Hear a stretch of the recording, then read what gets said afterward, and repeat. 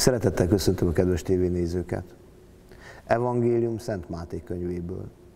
Egy alkalommal a farizeusok próbára akarták tenni Jézust. Megkérdezték tőle, szabad-e a férfinak bármilyen okból elbocsátani a feleséget? Jézus ezt felelte. Nem olvastátok-e, hogy a teremtő kezdetben férfinak és nőnek teremtette az embert, és azt mondta, a férfi ezért elhagyja atyát és anyját, feleségéhez csatlakozik, és ketten egy test lesznek. Így már nem ketten vannak, hanem csak egy test, amit tehát Isten egybekötött, ember szét ne válassza. Kedves tévénézők, kedves testvérek, Jézusnak a hallgatósága megsejti, hogy valahogy Jézus magasabb erkölcsiséget hirdet, mint a mózesi törvény, valamivel tisztultabbat.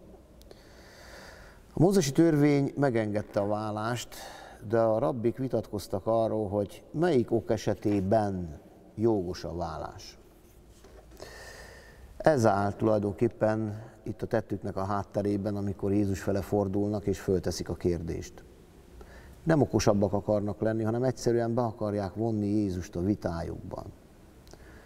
Jézus pedig abból a különbségből indul ki, hogy a teremtő akaratából Isten férfit és nőt teremtett, és ezzel létrehozta a házasság intézményét.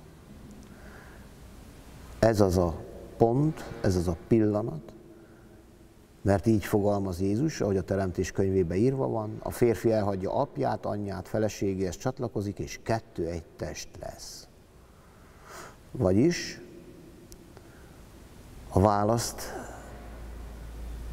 bizony, hogy a tanítványok szigorúnak találták, ezért Jézus emlékezteti őket, hogy a kegyelem erejére szükségünk van, amely több, mint a természet szava.